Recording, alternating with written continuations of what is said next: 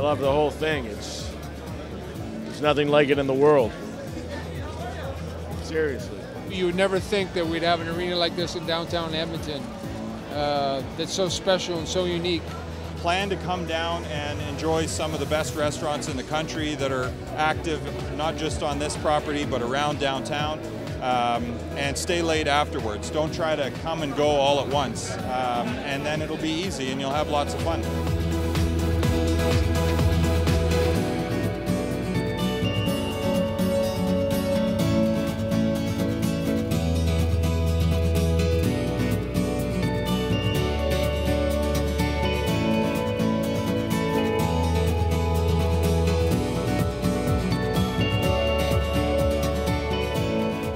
Very proud of what everyone's accomplished together. All of our uh, the amount of work uh, that went into this, uh, the re- resources, the people, the time.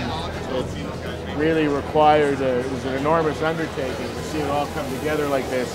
Exhilarating. I'm proud. I, uh, you know, for the city, for everybody that's all of our employees who work so hard for this day. It's uh, really fulfilling.